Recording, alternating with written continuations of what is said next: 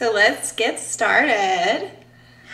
See, the thing about haters is they wish to be you.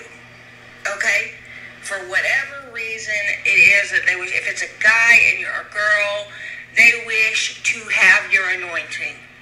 They wish to have your intelligence. They wish to have your thought processes.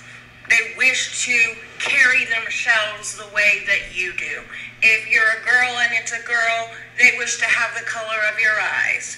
They wish to have your body a shape. They wish to have your anointing. Okay? If I mean, you could be a guy and it, it, you can just switch it, vice versa, right? You guys understand what I'm saying? But the main thing I want you to remember and keep this in the back of your head is that they wish you, baby. You got something they ain't got. And believe you me, they want it. And that's a 100. Yeah, the main thing to remember about haters is they wish to be you. That's what I want you to keep in mind, guys. Anytime, and I know the people that watch my video got haters. Okay, so anytime you got a hater hating on you, lying on you, saying whatever they want to say about you, copying you, and then trying to turn it around and act like they came up with it but put their own twist on it, and then, but you know, like it the same way it's dissing you type thing, right? so pathetic. Okay, so pathetic. Um, I mean, it's different if you want to put your own twist on something out of respect and honor for another person. But when you're doing it to diss somebody, that's pathetic. Period. Ain't nobody got time for that. Around here in these streets. Never. Never, ever, ever. Never, ever. Sorry, Miss Jackson. I am for real. Never meant to see your daughter cry. No.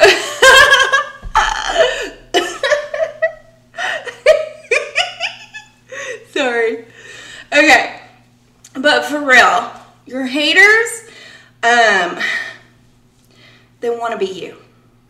And you can tell, especially if you're a social media influence, you can tell because they copy you in their titles. Like, please don't waste time watching the videos um, of your haters because that is a boundary cross on your energy. Okay? Your energy is sealed. They, there is a seal and a hedge of protection around you. Your haters are not allowed in. Okay? So don't even waste time allowing them in your brain or your thought processes because they ain't on your level. if they were, baby, they wouldn't be doing what they doing. Okay, my job. Let's just put it there. We don't copy you. okay, you copy. Don't get it twisted. Because a lot of your haters, they really, really wish that they were on your level. They get so jealous that they don't have your anointing, right? That they that, that they're not able to speak as fluently as you are, right?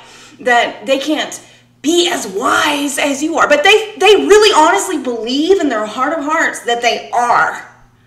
Right? So they get on and they make videos that copy you in their titles and then they try and copy you in their videos when it's so obvious the energy's different, the anointing's different. I mean, it's just not there, right? It's a copy, it's a rendition, it's um, it's like Best Buy versus whole organic foods. Okay, like you guys know what I mean, right? So remember when your haters copy you that it truly is a form of flattery, okay?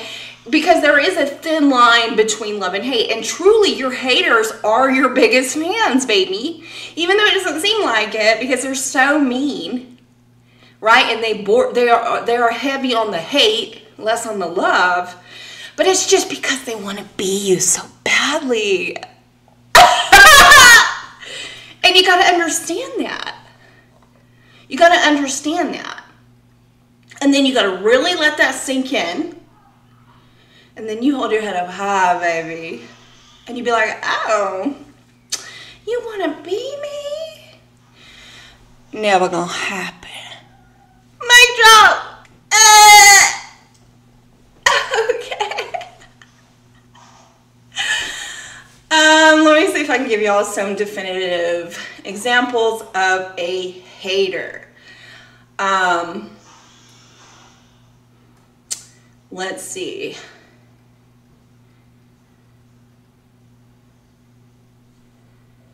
Well, I already said they copy you in their titles. This is for social media.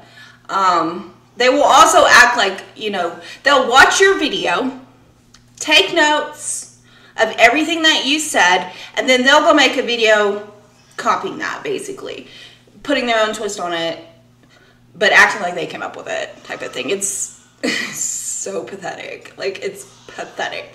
And you guys need to just let it go you know, let them think that they're running things because they ain't. And God sees all of it.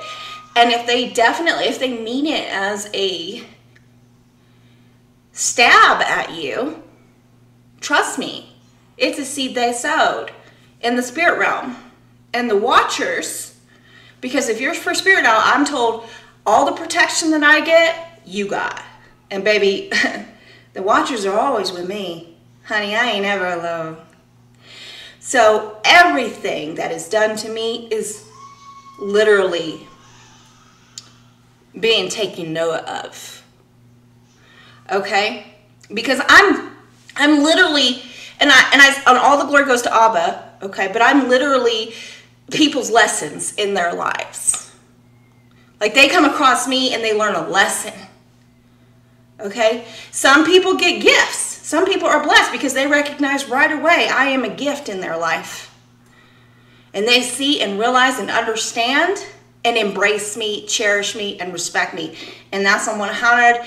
And you know, they know, and we know, and we know, and we know, and we know, and we be doing what we do. Hey! Like drop.